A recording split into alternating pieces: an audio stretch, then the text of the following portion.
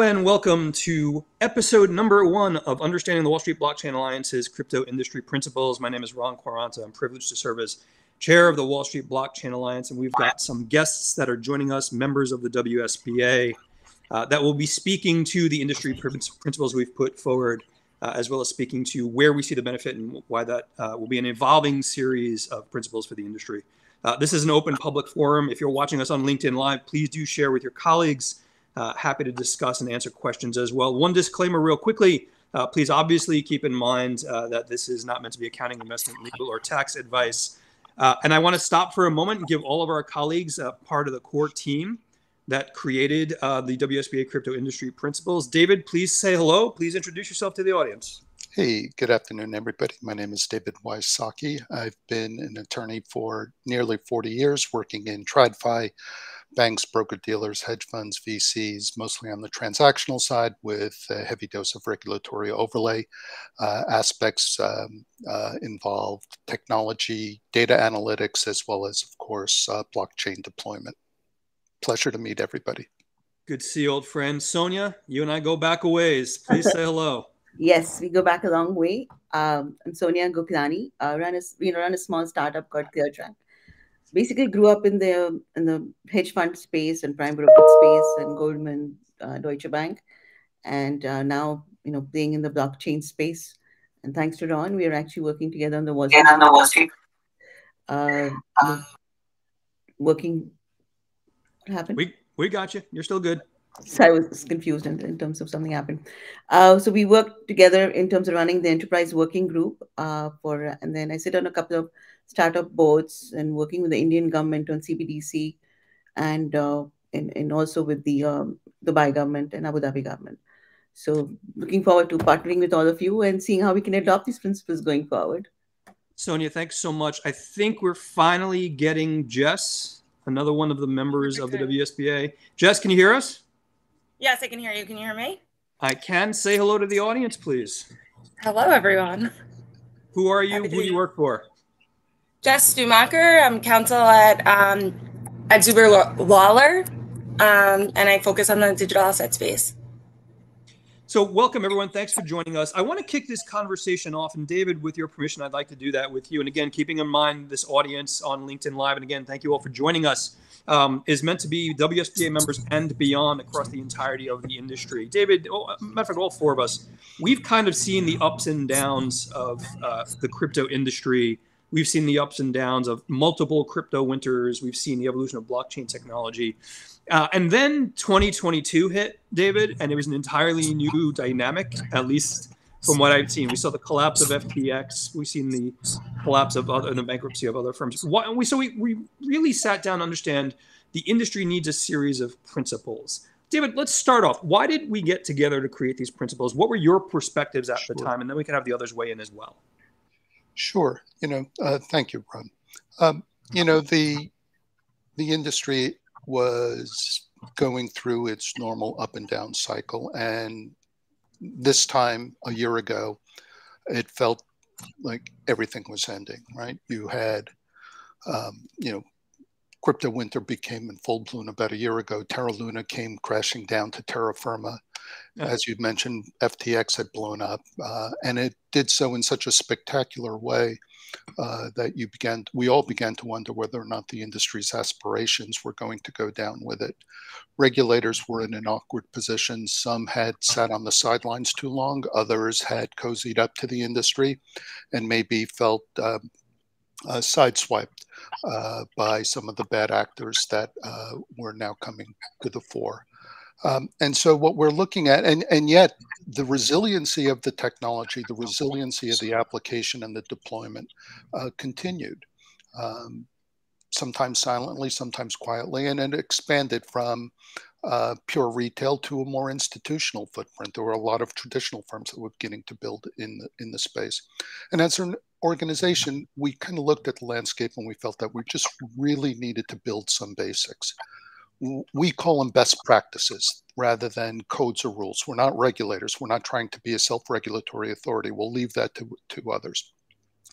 But we felt we needed to raise a hand um, in support of, builders, developers, investors who believed that the technology was legitimate and the activity was legitimate. And we needed to remove the taint of fraud from some of the uh, participants.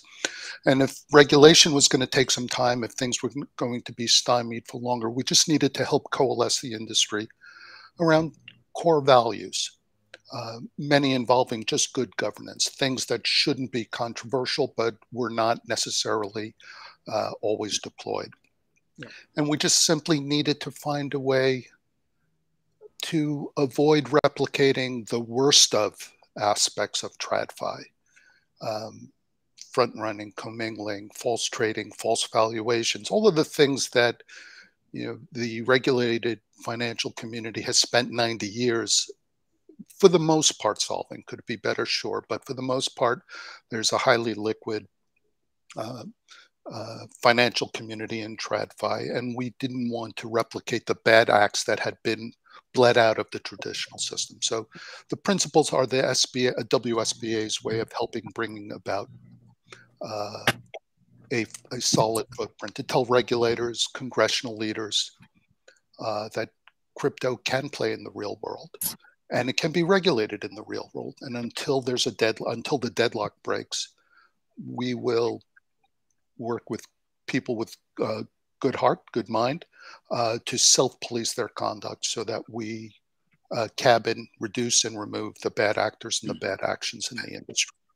David, thanks so much. Sonia, I want to go to you, and, and I think David to allude, you know, expand upon David's point a little bit. One of the things we very much focused on in the principles, you know, Sonia, you and I have been through pre Dodd Frank, post Dodd Frank. We've seen this kind of evolution of, of, of markets, and as markets build, operating with a series of principles that make sense, and in many regards mirror TradFi, in my mind, was very very important. Um, what have you seen from the development of crypto and blockchain, and and where do you fit in, and your thoughts fit in as far as uh, as the principles themselves? How closely do they mirror what we've seen before? Very similar, I would say. And um, I'm coming from the Dodd Frank area, pretty much saw, uh, you know, the different banks and you know different the mortgage crisis. I actually was there, uh, you know, with the regulators working at that time, and so I've seen the similar kind of. Typically, you know any new asset class that comes in goes through a life cycle and i think this it's it is crypto is a derivative in some ways because it's going through the same life cycle issues in terms of you know margin you know how do you manage the margin? How do you do the kyc checks? You know how do you do the custody? You had a problem with the custody how do you make staking was very similar to a derivative contract or an index or whatever right? In some ways you're actually getting value out of the underlier essentially. So I kind of see a lot of similarities in that aspect. In kind of, if I draw a parallel to both the areas, and in, in terms of the reporting requirements, I mean, you had, you know, major reporting requirements were not met with, you know, in the past, and then you had SDR and you did that. Now you don't have reporting requirements, and this I think this is a more, even more complex asset class compared to derivatives because derivatives essentially was mainly in or you know focused on the institutional side not as much on retail side. And I was actually talking to David earlier about this, this becomes even more complex for us to lay down the foundation, you know, in a much more robust way so we can build up. Because this is an industry that's going to grow and you're going to have other assets that are going to be digitized. Like, you know, I was mentioning earlier that this is going to be like, you know, coming, talking as you know, an architectural perspective, you have this as a foundation, you have the basement, which would probably be the custody of the assets and then you have different floors that would come in essentially. You have the NFTs come in, you have real estate tokenization coming in. So kind of looking at very similar, like you have a typical, you know, in a derivative contract, you have a typical underlier, then you have CDSs or interest rate swaps, or depending on the underlier, you have different complex swaps that come in, right? They kind of look at it the same way. And, you know, and, you know, in terms of, you know, you have this whole building that's going to be eventually built and it's a long road ahead. It's a very dynamic, but the, the bigger challenge you have now, it's a more dynamic environment. And mm. and one thing that's different out here is social media. It wasn't there back in those days influencing any asset class. Today, if you're on Clubhouse or Insta or any other Reddit platform, it could actually make or break a market or break, you know, you could buy into a token or, you know, sell a token. So that is the part. It's even more important that you build a strong foundation that you can, and a very agile foundation which can adapt to the new uh, changes that come in the market in terms of what could be tokenized, whether it's loyalty rewards. Like I, I'm a, I'm a board member at Points Cash, where when we started out building out Points Cash, it was like we were just going to, you know, use the points as, you know, as collateral. But now there are so many different ways of monetizing it. Yeah. Build partnerships with so many, uh, you know, uh, airline partners or with hotel partners, and they're actually putting it on the balance sheet as an asset. Right. You know, so that is something you know, and then how this is going to eventually, you know, transform to the end. Wearing my technology hat here, uh, it's it's so important to lay down this foundation because you will not be able to get, you know, you won't be able to get new other asset classes going forward if you don't do that. You know, it will be very difficult to build yep. those asset classes. Sonia, it's funny. I, I am old enough to remember. You just said something that was really interesting to me. You said, you know, derivatives are simple compared to. I remember the days where people were like, "Oh my God, derivatives are so complex," and now we're looking back and saying, "No, that was that was pretty easy." Now we got crypto. Um, Jess, I want to pull you in. I want to pull you into the conversation. Um, before I do that, real quickly, for those of you in the audience, again, thank you for joining us. Uh, please do submit questions in the chat. We'll be able to read them here and address them throughout. Uh, and anyone interested in the copy of the principles that publicly available, go to the WSBA website wsba.co, you'll see the, the big link to the entirety of the principles. Jess, I wanted to pull you into the conversation. One of the discussions we've been having for a long time within the Wall Street Blockchain Alliance obviously consists of lawyers and the regulatory aspects of it. And so I think you, you all contributed segments to the WSBA principles. What have you seen as far as, you know, was it the Wild West? And I think in many regards it was. And why would principles be useful in the context of law and regulation. What are your thoughts about it?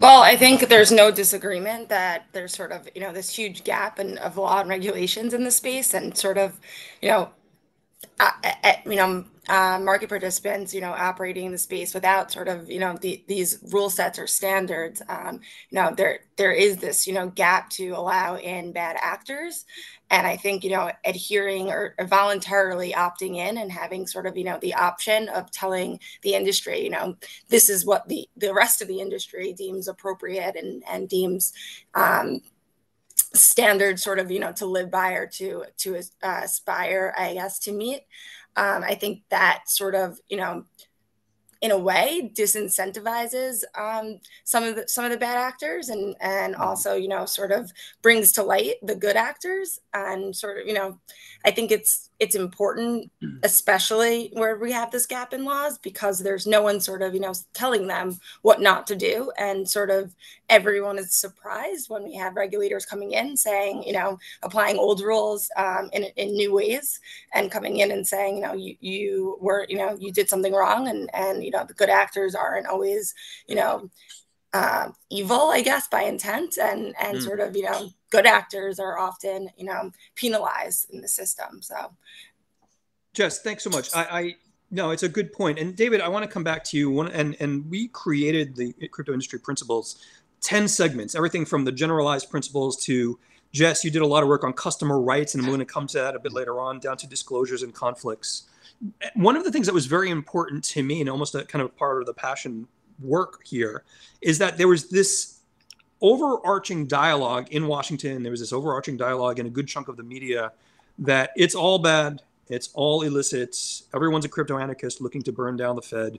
Um, and what we've seen, the four of us, in the past, you know, eight years now that the Wall Street Blockchain Alliance has been here, is that that's not the case at all, and that we're beginning to see the, the evolution of TradFi and crypto coming together. David, do you agree with that perspective? And do you see crypto industry principles as a way of mitigating that really negative perspective on all of this? Sure. Um, it, no, no doubt the the rest of the world catches up with the technology when it does something that's quicker, cheaper, better than what you're currently using. And so one of the you know deployments that we've noticed uh, accelerating the last uh, last year or so uh, last two years it is blockchain deployment as opposed to crypto deployment, mm-hmm. more application as opposed to trading. And so you see the adoption of blockchain technology as a way to streamline and synthesize the payment system so that you have instantaneous payments on a global 24 uh, 7 basis. You have um, uh, artists, uh, both music and visual artists, using the technology through NFTs to deploy uh, their creative work without the intermediation of a third party agency owner or uh, promoter, uh, keeping the value to them. Um, you see it being applied in real estate. You see it being applied um, in uh, commercial ventures, in tracking and shipping. Uh, so it, it's abundantly clear that the technology is nimble and will be deployed. The various, uh, and obviously in different industries, it's going to meet and have to adopt to various um, regulatory requirements in, the, in that industry. But fundamentally, they still need to adopt and, and adhere to just good practices. I don't think there is anything unique about a financial sector as opposed to a commercial sector, uh, where you know acting in good faith, in keeping your customers' funds sacred and sacrosanct. Don't commingle, don't use them. Don't front run. Make sure that the valuation that, and the deployment, the, the things that you promise are things that you deliver. Those things will adopt and evolve over time. They will vary from industry to industry as we go across the, the blockchain deployment. Uh, but fundamentally, the principles uh, are as the name says, fundamental. Uh, the concepts remain, their deployment and application to different industry segments may vary. We don't expect to see individuals in a, in an industry segment, everybody doing the same thing. That, that would be ridiculous. It's too new, it's too novel. There's going to be multiple ways to solve a problem, not just one way. And we don't envision the principles as being a top down, we're going to tell you how to behave kind of conduct. We're just giving you a goal to shoot for. How you apply and comply is up to you. Yep. David, thanks so much. And and as you were bringing up those different industry verticals, I can feel Sonia wanting to talk about metaverse, which I'm sure I'm sure we're going to get to a bit later. Sonia, Jess, I, you know, let's pivot to both of you. And David alluded to this because the first section of the WSBA crypto industry principles and what we're calling release 1.0 is literally general principles. And I think the importance of that is manifested in the many planning meetings which we have we've had, which is it's regulator agnostic, it's platform agnostic, it's it's it's um, venue agnostic. It's literally meant to be a set of fundamental principles that industry participants in any of their forms can adhere to. Sonia, just why did you why did we think that was important and what can we add to that as why is the why are those general principles the critical beginning of it all? Jess, you want to take it or should I? Go ahead. Okay. So I, I think the reason it's important, um, you know, this, to create this kind of a framework is is is is because um, you know you have, like I said earlier, you have an institutional play here and you have a retail play out here, and you have like multitude industries that would come in. Like for example, you have the real estate market, which is actually tokenizing assets, tokenizing their real estate properties. Now, if we don't set this kind of you know tone in the industry, there could be more failures. There could be more you know this svb is coming in the more F- ftx is coming in.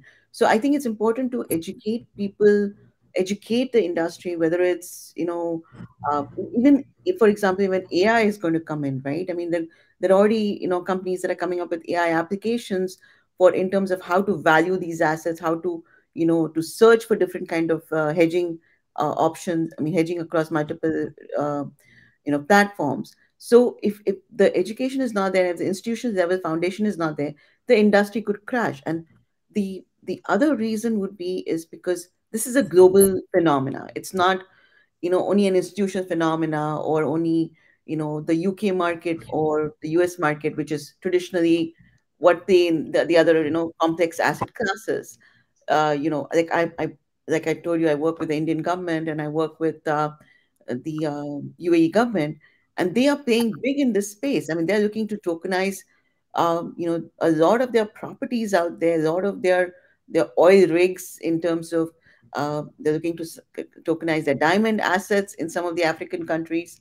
So if we don't set, you know, if we don't set this tone, we US being the leader, we are a global player in, in, in this. If we don't set the tone, I mean, it's going to really result in a crash in some way or the other at some other level.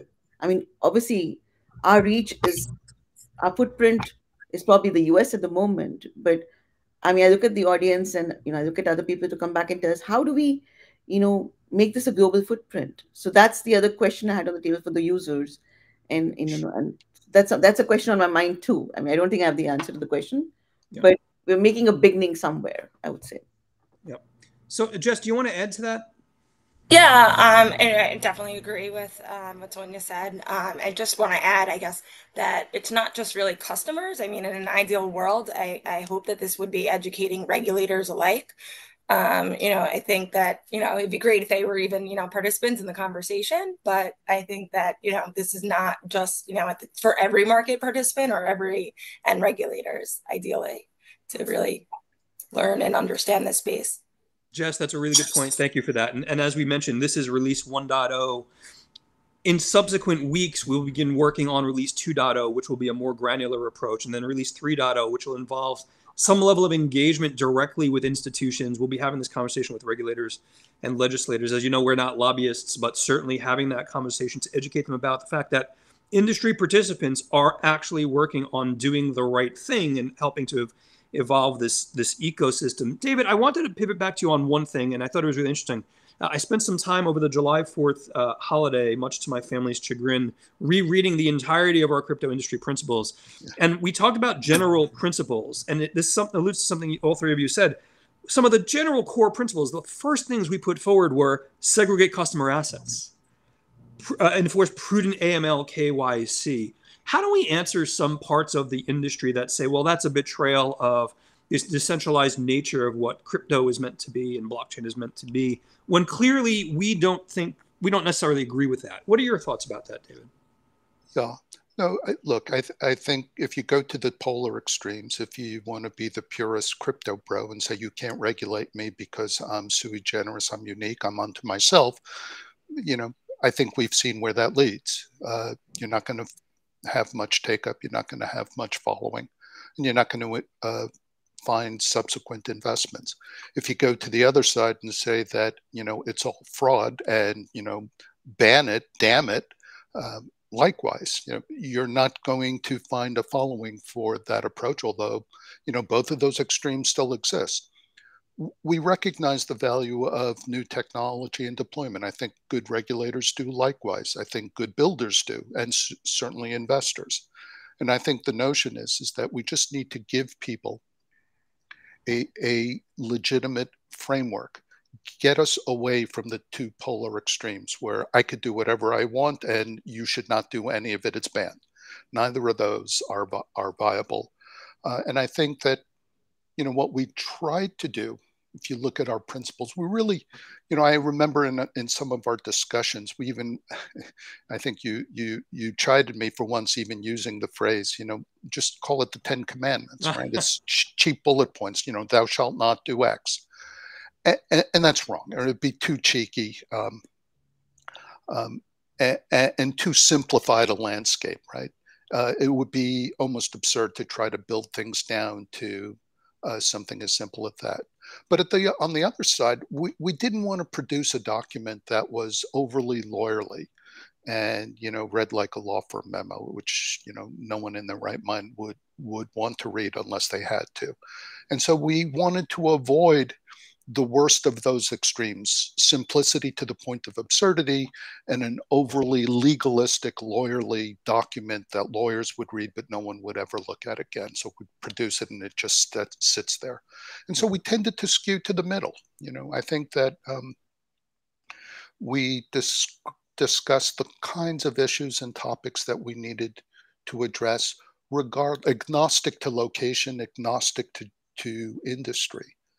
Um, and I think that's where we came up with discrete, bite sized bullet points of information that allow individuals to adhere to a kind of conduct that evinces good faith. And I think that's where we ended up. David, thanks so much. I just, for the audience's sake, we talk about the crypto industry principles. Again, please take a look uh, on the WSBA website. 10 overarching sections, general principles, customer rights, collateral management, cybersecurity, custody segregation, solvency, on and on and on. One of the first of those segments as we move beyond uh, the general principles that we just mentioned. And Jess, I wanted to pull you into this if I could. Um, and I was surprised how little conversation there was in the industry, but you were really focused on customer rights and you've been deeply involved in crypto in, in all of its iterations for some time. So you had a particularly unique perspective on customer rights, and I would argue that was an important first step in outlining the principles. Why did you think customer rights were so important, and what did you see in the industry that said to you, "Look, we have to address customer rights as part of these principles"? Um, thanks, Ron. Um, undoubtedly, you know, I think you know, as as you know, everyone here mentioned that this this was really prompted, I guess, by the collapse of FTX and ensuing mm. collapse of really of other entities um, with exposure to FTX and sort of, you know, really who got you know it's it's one of the largest bankruptcies in terms of customers affected um, i think you know really it's it's you know, it's an individual trader um, really who brought, who probably got hit the hardest in this. Um, and, you know, they don't necessarily know their rights. You know, you look at sort of, you know, the other Celsius bankruptcies, um, you know, it, it other other sort of bankruptcies that we're seeing in the space play out and sort of that many customers didn't really understand um, their rights didn't really have clear disclosures um, lots of um, exchanges platforms. They use sort of you know click um, click um, terms, uh, click, uh, click term, terms, uh, policies and terms, uh, um, policies and procedures um, every time they were updated. And you know it, it, wasn't really clear. There was no way for you know customers to drill down on sort of the important things where you sort of have you know UDAP protection and in um, traditional lending um, unfair deceptive acts and, and abuse and Practices Act, um, and where sort of you know when you're when you're getting a home or when you're getting you know any other type of loan, you have the, them sort of broken down really clearly for sort of the average consumer who doesn't understand legalese, and I think that here and across the industry, you know, we, we sort of saw that play out, and we're seeing it right now, and, and as it plays out in, over various issues in the bankruptcy courts. Um, I think it's just really important that you know anyone who's dealing with customers and, and not necessarily just retail. Um, you know, we we saw hedge funds go under in the space, mm. pretty large hedge hedge funds. Um, but you know, I think that it's really important that it's sort of you know customer rights are spelled out, they're delineated in in, in sort of a, a very basic fashion and and without um, you know the extra verbose um, language and you know that customers really understand their rates i think yeah. that that's sort of the most important point. Jess thanks so much. Sonia i want to i want to pivot to you a little bit and i want to stay on customer rights for a moment Jess given the work that you've done. Um, and one of the things we've looked at uh, when we talked about wsba crypto industry principles was something to hold a mirror against at some point in the future. And what i mean by that is you know just you alluded to very complicated terms and conditions that most people don't read. And in fairness most people probably don't read the terms and conditions for a standard options trading contract or you know their their account at Vanguard or Fidelity, what, what have you. But the ability to look at a series of principles and, and kind of hold that mirror up to the providers in this space, in my mind, is, is hopefully one of the important evolutions of the crypto industry principles. Sonia, you've been in the depths of some of these really important things like KYC and AML in the different markets. Do you think that's a logical progression? Do you think the industry should be able to look at the crypto industry principles and again use it as a mirror with whomever they're doing business with. Is that a possible evolution that we're looking at in your mind? I think so. I mean i think it's i mean to allude to even david's point where we try to make it simple for people right? I think that's a very important point uh, in this whole premise of it because as we all know the fine print that's written even when you actually sign up on an apple document or any document you sign up nobody reads the fine print right? So i think this the fact that we've tried to make it very simple and and not put the jargon in. And I think all of us have put a lot of there have been real great minds that have come together, like you know Dina and I, the others who've actually tried to make it so somebody who's in the retail market also could understand it, or somebody who's you know even at a an operational level can understand it. I think that is the key, that foundation that that is important in our document, which will help. The the other thing is, you know, Silicon Valley Bank crashing. I think one of the reasons reasons is uh, I would say technology is to blame in that situation. Also, I would the reason I would say that uh, is because when you know companies like Silicon Valley Bank are operated in in areas in California, and they they kind of don't work with the Wall Street providers. They don't work with you know the East and the West. Do, I mean you know they just they just don't work together, hmm. and your technology is is an enabler, but sometimes technology gets ahead of you know the actual business problem you're trying to solve and actual you know, you could actually put in the controls, but you need to understand what the actual, what could be the fraud that the, the client could do. For example, you know, being from the hedge fund industry, I've seen, you know, the, the, some of the KYC checks we used to do at Deutsche Bank and, you know, these funds would be based in Cayman Islands and they would, when we would do a check on them, they wouldn't even be existing, you know, and, and only because the bank had a, you know, a robust infrastructure to check for it, it was fine. But the newer participants in this market don't have that. Mm. And how do you make sure that you can check? But you have social media today, you have different, you know, uh, like when I do KYC, I mean, I for some of my, uh, you know, employees that I board on board also, I actually do a whole search on them. So there are a lot of, you know, so social media tools available out there where you can actually do these kind of checks. So you can keep it simple too. And I think our, our you know, to your point about our principles, it could help people that you need to take care of this aspect mm. and you need to look at different mediums to actually take care of it. So that's what we're trying to tell people. It is simple, guys. You don't have to be a bank or you, you could be a small firm or so, you, but you have to do this process. Yeah. So that's what we could stress on. Yeah, Sonia, that's a good point. I Appreciate it. Um, David, I want to pivot to you a little. And we're still, uh, you know, when we look at customer rights, Jess, when you originally drafted this, re- some of these bullet points really hit home. Committing to providing full, fair, and transparent terms. And it goes on and on and on about kind of peeling back the layers. And we'll describe these and discuss these in future episodes and sessions. But David, Jess, uh, David and Jess, I wanted to ask, you know, it's interesting when we begin to look at the evolution now of TradFi within the space. And it's been something we've been talking about for a long, long time. But, you know, these are things that traditional financial services firms, if we're just looking on the finance side of it all, are used to doing. Does that explain, David, in your opinion, why we're now seeing the BlackRocks of the world move forward with spot Bitcoin ETFs? And look, these these are companies that make these decisions after careful deliberation over time to see if there's an economic value there. But they're also used to being regulated. What do we make of that kind of evolution, and where do the principles fit in? Really interesting question. You know, I, I have a more wasn't in prep, by the way. I'm sorry. no, it's okay. I have a more jaundiced view, Instead, you know, um, you know, banks in traditional finance have a ha, have a unique skill set, and that is to come in at the right time. And I think that part of what we're seeing here is, you know, I don't, I don't want to say it's bottom fishing. I don't want to say that they're buying in or coming into a segment at its low point, but that, you know, economically, that seems to be where where we are.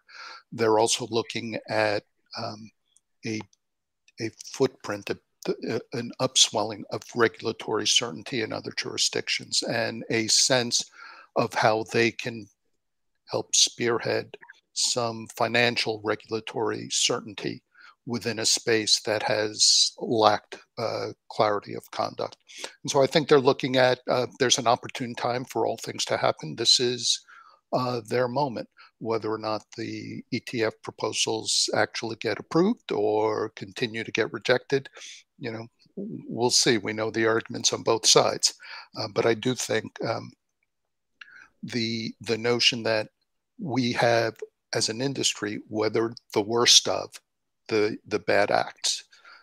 Could another shoe drop? Absolutely. But I think we've bled out of the system some of the excess, some of the excess funding and the bravado um, and the overpromise under delivery uh, that existed, the lack of architecture, the, the lack of connectivity, the lack of, of certainty, and the lack of simplicity. And I think what we're now going to see are individuals and organizations that are very used to dealing with a regu- regulated footprint coming in to find their niche, their piece. The one unique thing, and I think you know, Jess and, and Sonia really hammered home on this point. This is different. This still, unlike traditional financial products, this is mm-hmm. not institutional or it's not purely institutional, right? At its heart, crypto was retail. It was the way for two people to send value across a network without an intermediary. No banks, no financial institutions, no BlackRock, no regulators, no lawyers. And I think no uh, lawyers. Wait a minute now. no, that's crazy. I think I could get disbarred for even even saying that. Um, for sure.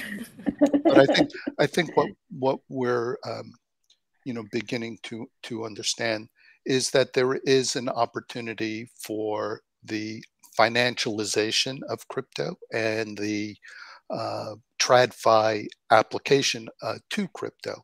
Uh, will it uh, destroy the hearts and minds of some of the crypto bros? Probably. I think it breaks the back of some of those who believe that it is purely a person to person peer network that doesn't involve any other regulatory footprint.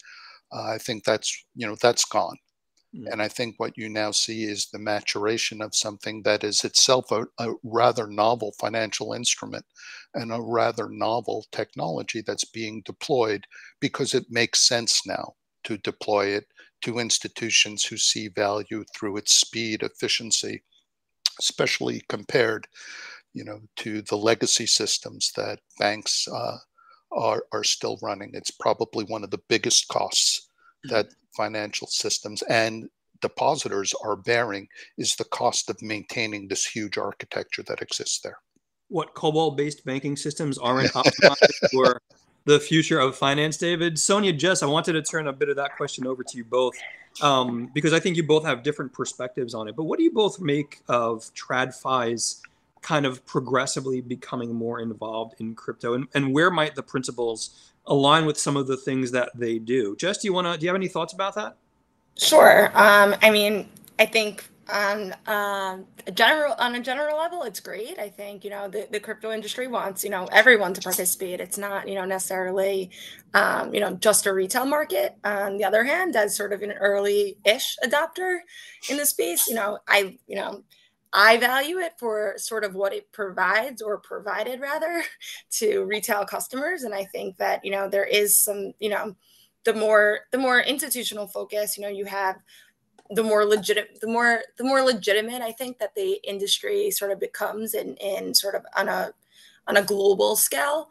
Um, but at the same time, you know, I think that the downside is sort is more or less that it is sort of you know this market and opportunity and the space for retail participants to thrive so i think it's sort of reaching a balance where you know um, traditional um, traditional players in in sort of the financial um, industry in sort of traditional financial industries um, can play nicely i guess with retail customers would be ideal so thank you, Jess. Sonia, you, you've seen, you've interacted with some of the biggest organizations in financial markets, and and I give you the same question, and I might be misremembering this, but I remember a conversation you and I had years ago uh, about crypto, and I think one of us had the opinion over lunch that well, institutions probably won't be interested in this. Uh, I could be misremembering. I might have had you know too much coffee that day. And we're seeing a very different world now. In the institutions that you know, what's their perspective on what's happening in this space? And again, you know, given an eye toward principles, why are these principles important in that uh, in that dialogue? So, yeah, this I remember we had this lunch. This was like many, many, many years ago. Um, I was less gray. but I'd like to actually add to this the whole actually to what David said earlier about BlackRock, and this is this is a real life example that I'm giving, and I'm not going to me- mention the name, person's name. I had a investor from Blackstone, and she actually came to me and she said, "You know what? Blackstone is not investing in crypto. I want to put X amount of money, and pretty sizable amount of money, into crypto." And I was, and she's one of the key investors there. Okay, I mean she's a, she's sitting in Puerto Rico, so you know why she's yeah. sitting in Puerto Rico for God's sake to save taxes essentially, right? And she said, and she asked me how I could force Blackstone into getting into crypto. And this was like a few years ago. Okay. So you you see that the the pressure on their funds has come from their investors directly, right? Mm. They're seeing the returns the retail market is getting out of it. So they, I mean, the the the BlackRocks of the world had no choice. I mean, they have to, and I think they're going to influence the regulation because their investors are going to force them. I mean, it's very similar to David and what we experienced on Dodd Frank. I mean, nobody wanted to adopt that, and nobody wanted to, you know, have transparency around limits. Nobody had wanted to have transparency around reporting, and BlackRock came and reinforced it because they didn't know how to play in the market otherwise. The investors are saying, "What's happening to my portfolio?"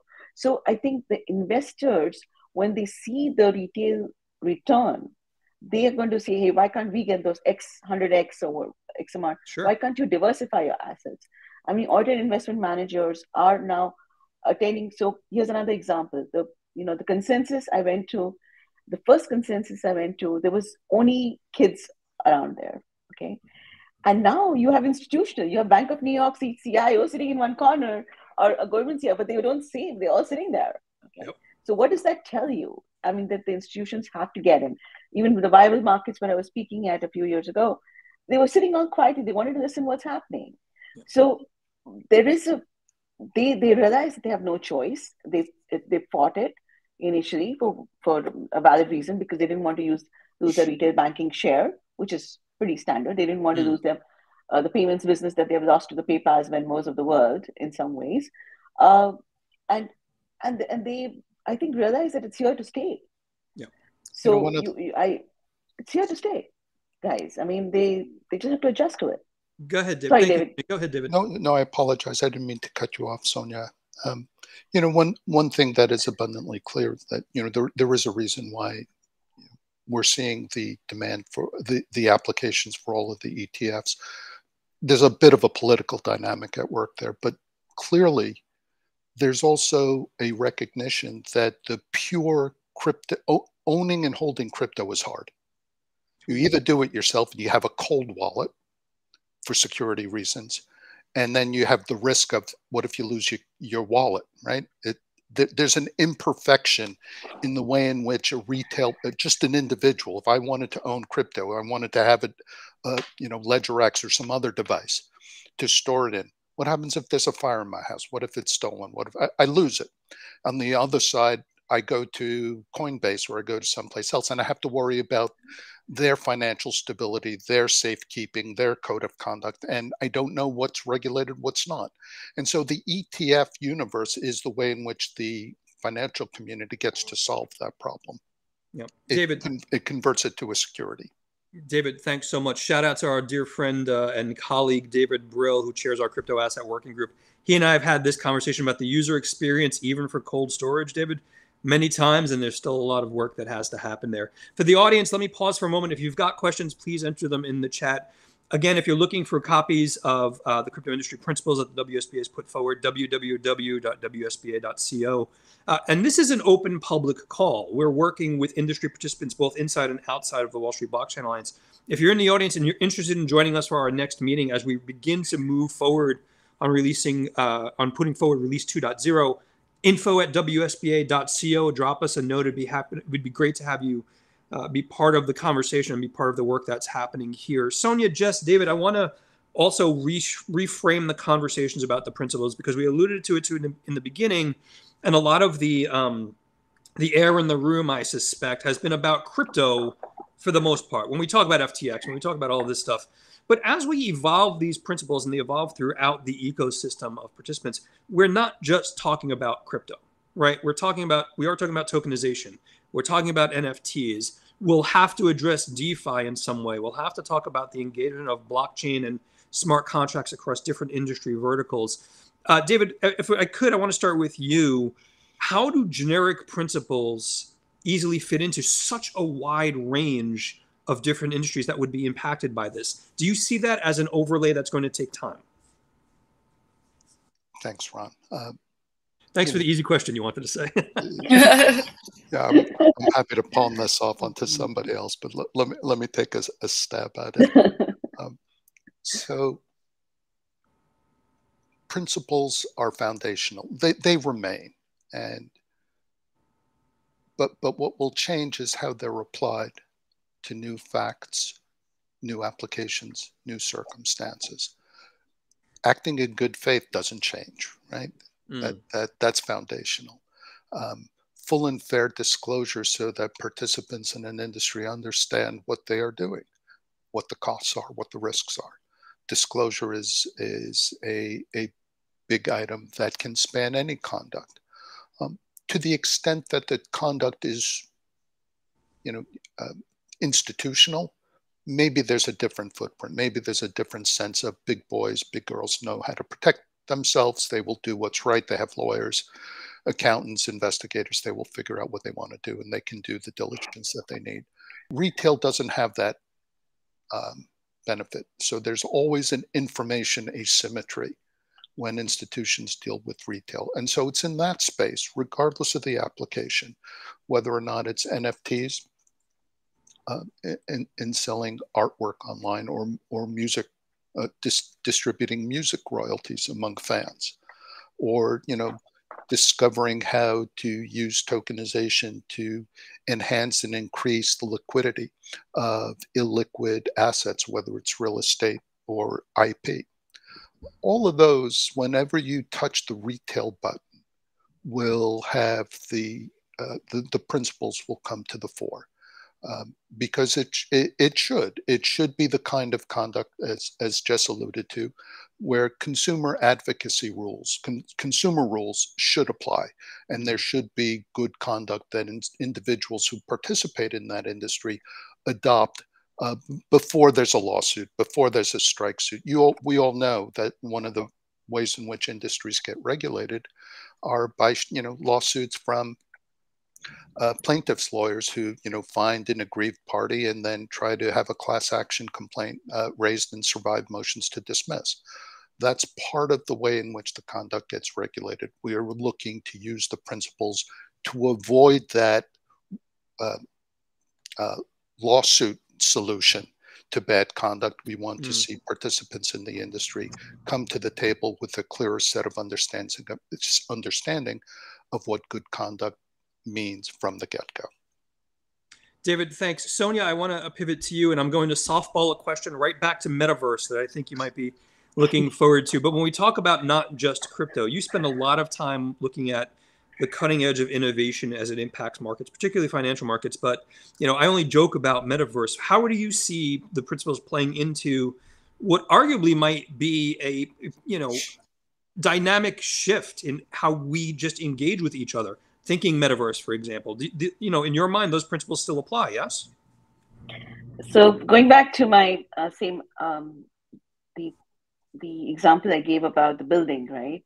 Mm-hmm. I look at these principles as the foundation, and like I said, you know, the the basement is the custody services, and there'll be different floors that will be coming in. There's TradFi, there's DeFi, there's tokenizations, and the floors will keep building on. And I look at the rooftop as the metaverse, where we'll be dancing in the rain, the artificial rain that's created probably by metaverse. And you know, you'll probably have some AI tools telling you what to do in, in that space. And there is some artificial intelligence bots all over the place, which will kind of influence uh, in terms of how you would you play in the you know different layers or different floors of the building so in you know which mm. floor do you want to actually work in? Like you know you go to any Wall Street bank, you have you know you know equity division is on third floor in Citibank, for example. The fifth floor is a fixed income floor. I think I kind of look at it that way going forward. I mean that's my analogy of looking at it and and the rooftop is where you have the party. So which is which is where you get I, drunk. I've got to assume you've got the meta mask the meta not the meta mask the, the meta v, vr outfit for your birthday coming oh, to I do. I, I, I do play with it. And um, it's it's it's important. I mean like the, you have to not you have to kind of remember that you're dealing with a generation z out here right? I mean they want uh, you know they want those kind of experiences. They want that you know they want to evolve in a market which is not the traditional you know going to a bank and you know getting your uh, you know putting the atm card and then you get your money. They don't want that. I mean the kids don't even want to buy properties today. I mean they want to stay in you know i have my friends kids they don't want to buy houses you know which is very strange right? I mean 30 year old kids they don't want to buy houses. They're like no we're going to stay in Airbnb or we're going to go in a tokenized real estate model where they can stay in a you know apartment in San Francisco in a studio in New York. They, they switch because you can work from anywhere today. So yeah. guys, the way of working has changed. The way people live has changed. Uh, so I think these principles will be very helpful in laying the foundation, and hopefully, it's uh, you'll help us build a robust one. So the other the, the other floors can come in. David, so. how old did Sonia just make us feel by saying 30 year old kids? yeah, I feel like I should hang it up. I'm done. Jess, you, you, know, you're you come from a younger generation, so let's just throw that out there. You know, and we've joked about it, but in truth, you know, my niece is I don't think my niece has never set foot in a bank, but she knows how to engage in crypto. She knows how to get engaged in the metaverse. How do you see just the generational change, and why are principles that we're trying to put forward for the industry universal across generations? Oof. Um, Another easy question. I mean, as part as a member of the younger um, generation, it's difficult um, without without hating on on your generation or, or my generation. I just, this is going south fast. Go ahead, continue, please. Uh, how do I how do I see the younger generation? Well, I mean, your, your uh, younger generations are still looking for an industry and participation across industries and that, that operate in a principled way. No one wants to operate in an illicit industry with the chance of them having a rug pull that takes away their tokens is, you know, 90%. So in my mind, when we talk about principles, they they are meant to be universal, multi-generational principles. Would you agree with that? Yeah, absolutely. Um, I, I, think without a doubt, it, it, applies for everyone, and I think that the, as you mentioned, the entire industry and every, uh, you know, every market participant wants, you know, this sort of standards, and regardless of whether whether we're going to get them from a legal perspective or otherwise. I want to throw out one last question. We've only got a few moments left. One of the things we very much focus on, and David, you and I have had this conversation as well. Um, we may not be lobbyists, as you all know, and for everyone in the audience, please know we're not lobbyists, but we've got the privilege of working with uh, and, and speaking to from an educational perspective lots of regulators lots of legislators and i think one of the things that's very interesting a, a, a someone i know very well uh, um, an industry colleague had said the pace of innovation will never be as slow as it is today. Um, and, and our argument is that things like the WSBA crypto industry principles are meant to address that in the sense that if innovation, if law and regulation can't keep up with the pace of innovation, at least fundamental principles of behavior, let's call it, in the ecosystem are universally able to be applied. Do you agree with that statement? Is innovation moving so fast, David, that it's making the regulators and legislators' job, jobs harder? And do our crypto industry principles make that easier for them? You know, I think it, it, it's the fundamental problem of regulation. Mm. And I don't think we know the right approach. There, there's different variations between Europe and the UK, UK and the US.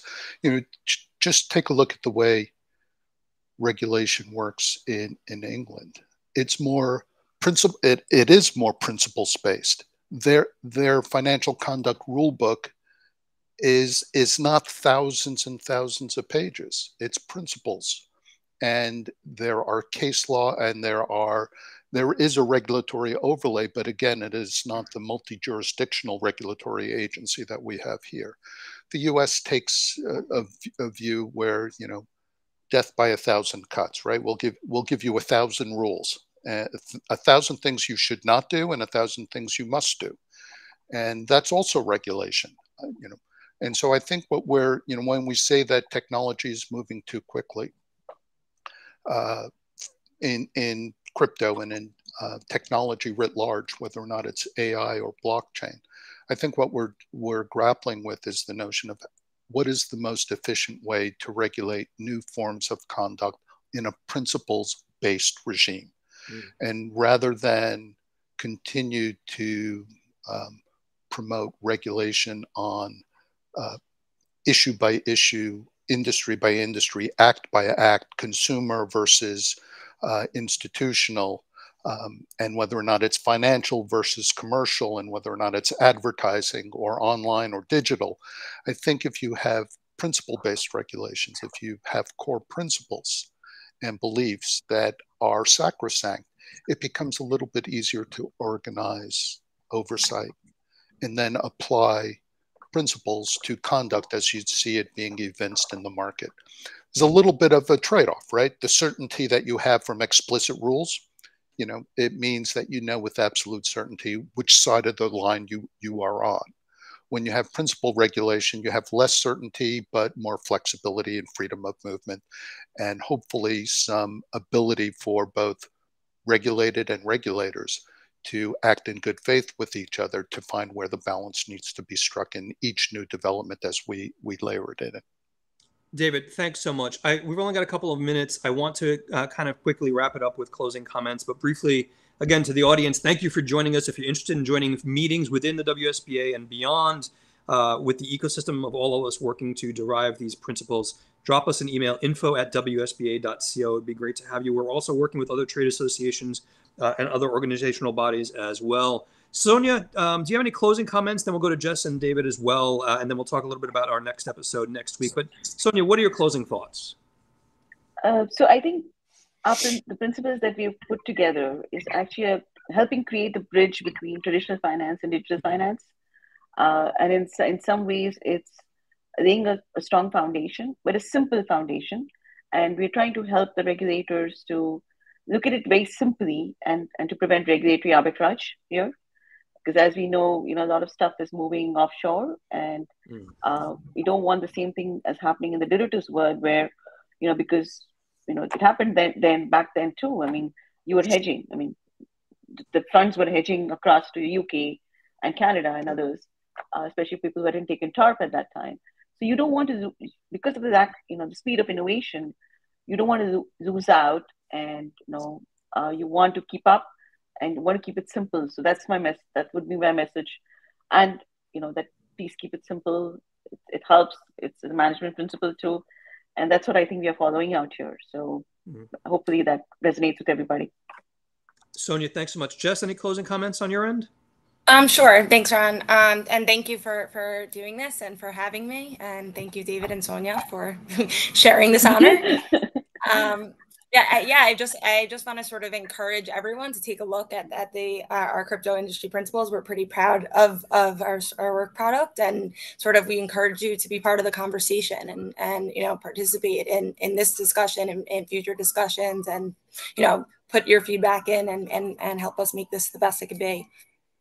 Jess thanks so much. David any closing comments from you before we wrap? sure. So um, I am an optimist as I get older. I think I was more critical and hypersensitive when you when I was younger. I look at the younger generation. I think they're problem solvers. I don't think that we did such a great job getting to this point.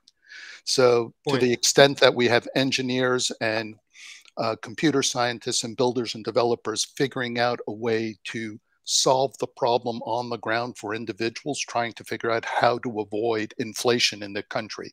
If you have 100%, 1,000% inflation, holding local currency is the kiss of death. Crypto was intended to resolve some of that. Mm-hmm. Um, could it have done better? Maybe. But I, I'm an eternal optimist. And I think that regulators and the industry, they may not get everything right, but they will get it right enough. And that's where I think we need to end. David, Jess, Sonia, thanks so much. Thank you for being so patient while, I tore up the script of all of our prep and that, that we didn't even begin to talk about. But that's a wrap on episode one of Understanding the Wall Street Blockchain Alliance's crypto industry principles. Episode two next week. Jess, you don't know it yet, but you and I are deep diving into customer rights uh, as we peel back the layers of why that's important across the principles. So Again, further information, info at WSBA.co, and we hope you join us next week. Thank you, everyone. Cheers. Thank you. Thanks, Thanks for having us.